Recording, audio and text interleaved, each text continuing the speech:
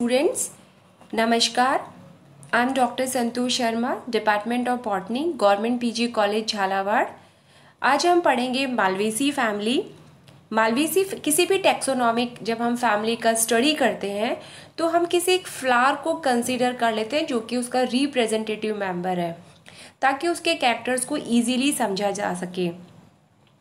Malvaceae जो family है, वो सॉफ्टनिंग है मतलब मैलो फैमिली को बिलोंग कर मैलो जो है, ये फैमिली भी कहलाती है। और बैंथम हुकर के जो जो कि हम इंडियंस बैंथम हुकर के क्लासिफिकेशन को फॉलो करते हैं तो इसके सिस्टमेटिक पोजिशन में ये एंजियोस्पर्मी डिवीज़न को बिलोंग करती है। डाइकॉटिलिडनी इसका सब डिवीज़न है, क्योंकि ये जो है, इसके अंदर दो कॉटिलिडन्स प्रेजेंट होते हैं।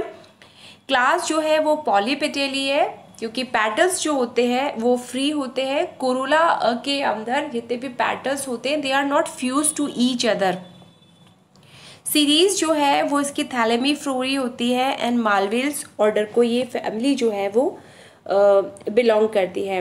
अगर हम इसके सेलियन फीचर्स ऑफ़ इसके क्ला उसका सेलियन फीचर्स मतलब कुछ ऐसे पिक्यूलर फीचर्स किसी भी फैमिली के जिनके, जो कि मतलब उसके, उसका जो है, वो उसका आइडेंटिफिकेशन है। अगर हम उन कैरेक्टर्स को बोलते हैं तो हम किसी भी फैमिली को पहचान सकते हैं। तो they are known as salient feature और we can say the diagnostic feature of that family इस फैमिली के मोस्ट ऑफ़ द मेंबर जो है, वो श्रब होते हैं और ये जो लीफ होती है स्टिप्यूस इसमें प्रेजेंट होते हैं और स्टीलेट टाइप के हेयर्स जो हैं, वो लीव्स पर प्रेजेंट होते हैं। स्टीलेट का मतलब होता है तारेनुमा।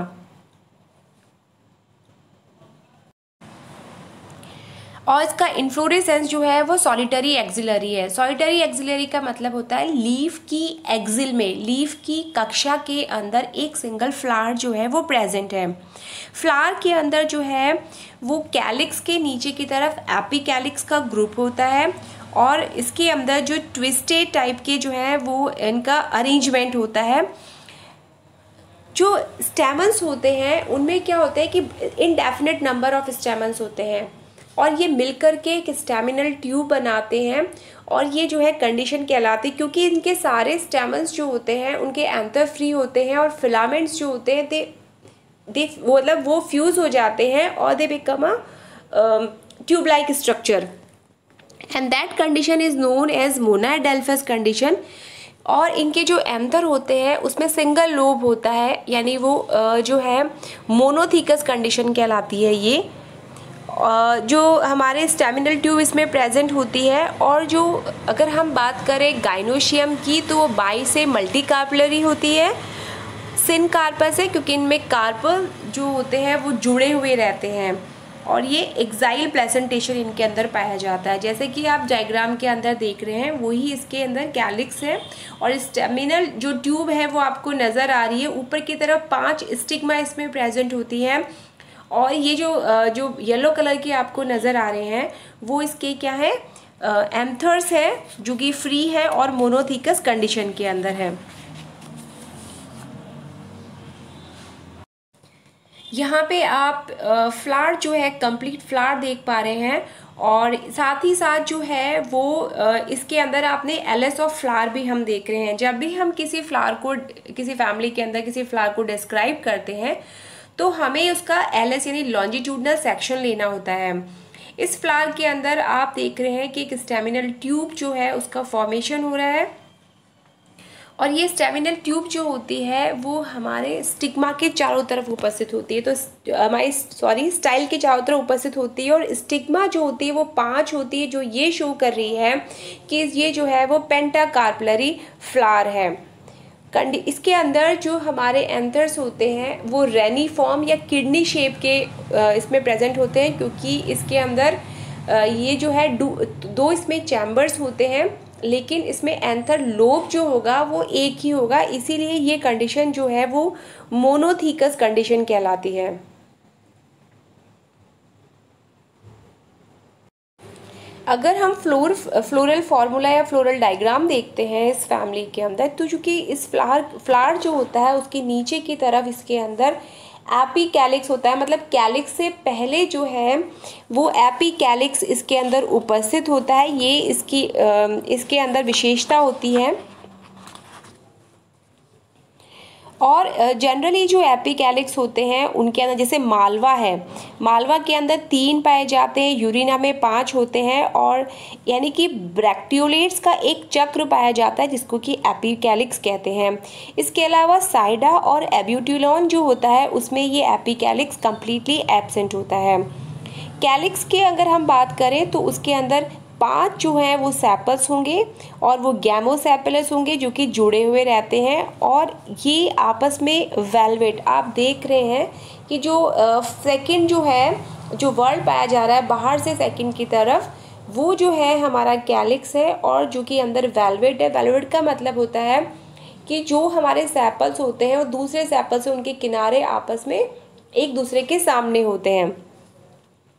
कोरोला जो होता है, क्योंकि ये फ्लावर आपने देखा है कि ये काफ़ी ब्यूटीफुल फ्लावर्स होते हैं पॉली पेटल्स होते हैं, क्योंकि इनमें जो पेटल्स होते हैं वो आपस में जुड़े हुए नहीं रहते हैं। आप बाहर से अगर तीसरे नंबर के चक्र को देखेंगे तो जो है वो ट्विस्टेड है मतलब एक अंदर आ रहा है, एक बाहर आ रहा है, उसका किनारा, और ये आपस में जुड़े हुए नहीं हैं। और इन इसीलिए इनका जो एस्टिवेशन है वो ट्विस्टेड एस्टिवेशन कहलाता है। अगर हम एंड्रोशियम की बात करें आप एक गोल सा रिंग देख रहे हैं और इस रिंग के ऊपर जो है वो एंथर लगे हुए हैं।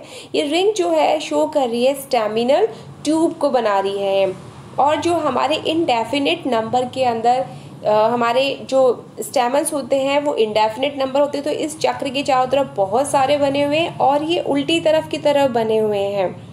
रैनी फॉर्म है, यानी किडनी के शेप के अंदर है और साथ ही साथ ये जुड़े हुए हैं हमारे पेटल से।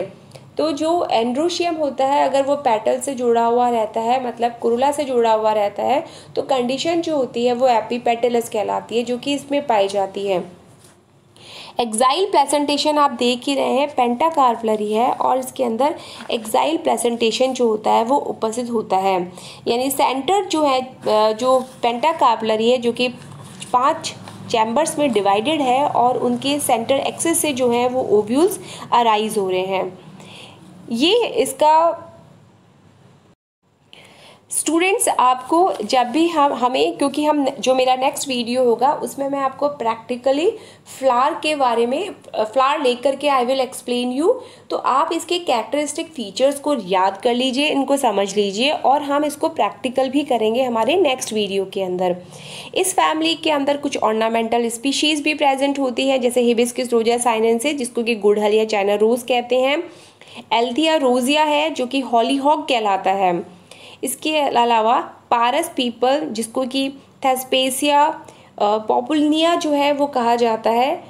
कुछ ऐसे प्लांट्स भी होते हैं, जैसे गॉसिपियम जो है, जो कि हमारे कॉटन है, जिसे बिनोला हमें प्राप्त होता है, वो इसमें पाई जाती है। इसके अलावा कुछ मेडिसिनली इंपॉर्टेंट प्लांट भी इस फैमिली में पाए जाते हैं, जैसे कि यूरिना लोबेटा यूरिना लोबिटा की जो रूट होती है और उसकी पार्क हो, उससे हाइड्रोफोबिया का उपचार किया जाता है। इसके अलावा मालवा वर्टिसिलेस्टा की जो जड़ है, वो भी इसका भी मेडिसिनली इंपॉर्टेंट है। तो ये कुल मिला के ये फैमिली जो होती है, वो इकोनॉमिकली इंपॉर्टेंट है और इस फैमिली के अंदर जैसे हमारे फाइबर जो होते हैं, वो गॉसिपियम से मिलते ही हैं। इसके अलावा हिबिस्किस कैनाबाइनस जो है, उससे पट, उसे पटसन कहा जाता है, जिससे कि हमें बोरियाँ या रस्सी बनाने के अंदर इसको काम में लिया जाता है। एबल मॉस्कस एस्कुलेंटम यानी भिंडी, यानी जो हमारी है, वो वेजिटेबल भी इसी फैमिली के अंदर आती है। थैंक यू सो मच और हम इस, इसका, जो इस फैमिली है, इसका प्रैक्टिकल जो है वो हम नेक्स्ट वीडियो में करेंगे।